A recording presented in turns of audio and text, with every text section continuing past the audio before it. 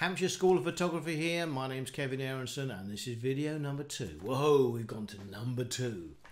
Well, we're looking at crop frame cameras because a couple of people asked me by email what a crop frame camera was after the first tutorial. Remember this? 35mm film. When, um, when camera manufacturers first went to digital, they really wanted to emulate 35mm film, which they were replacing. And so they tried to make sensors in the cameras which were as big as the area of a 35mm negative. Now, they're quite expensive to produce that large. And um, so consequently, manufacturers figured out that if they make them slightly smaller, I'll show you in a second, they can make them cheaper. And so a lot of digital cameras came onto the market with smaller sensors. They were cropped in size from the original 35mm negative. So if you've spent a lot of money in your camera, maybe £1,600 upwards, something like that, you've probably got a full frame camera where the sensor is the same size as a 35mm negative. But if you've not got a full frame camera, you've got a crop frame camera and the sensor's smaller. Let me try and explain with some pictures. Here's a picture of two cameras. The one on the left is a full frame camera and the one on the right is cropped. Look at the size of the sensor on the one on the left, it's massive. Conversely, the one on the right is really quite tiny in comparison. Look at it this way.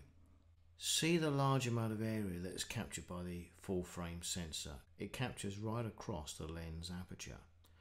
But the smaller crop framed area inside only captures the center of the picture, giving the impression that it's actually zoomed in closer. In the 35mm environment, you can see just how much of the image would have been captured with a full frame camera. But if we overlay what you would have got with a crop frame camera, you only get the middle part. And when you look through the viewfinder of a crop frame camera, you see that. It looks closer. That's what you get with a full frame.